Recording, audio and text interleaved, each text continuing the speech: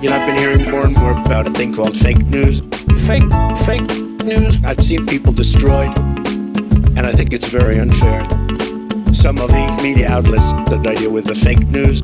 Fake, fake news. I think it's a disgrace, an absolute disgrace, but I don't think they care. Well, first of all, one of the reasons I'm here today is to tell you the whole Russian thing, that's a ruse. It's a ruse. I own nothing in Russia. I don't have any deals in Russia. Russia is fake news. I just see many, many untruthful things. The press has become so dishonest. The public doesn't believe you people anymore. You have a lower approval rate than Congress. You know, I've been hearing more and more about a thing called fake news. Fake, fake news. I've seen people destroyed, and I think it's very unfair.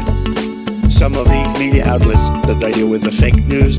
Fake, fake news. I think it's a disgrace, an absolute disgrace, but I don't think they care. I'll tell you something, I don't mind bad stories. I can handle a bad story better than anybody as long as it's true.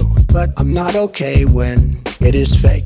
It's all fake news. I mean, it's story after story after story. We're not gonna let it happen again.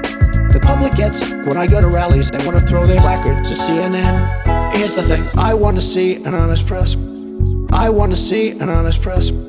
I want to see an honest press. It's so important to see an honest press. I want to see an honest press. I want to see an honest press. But our nation's reporters will not tell you the truth. So I'll go over just some of them. MSNBC, You are fake news. The New York Times, You are fake news.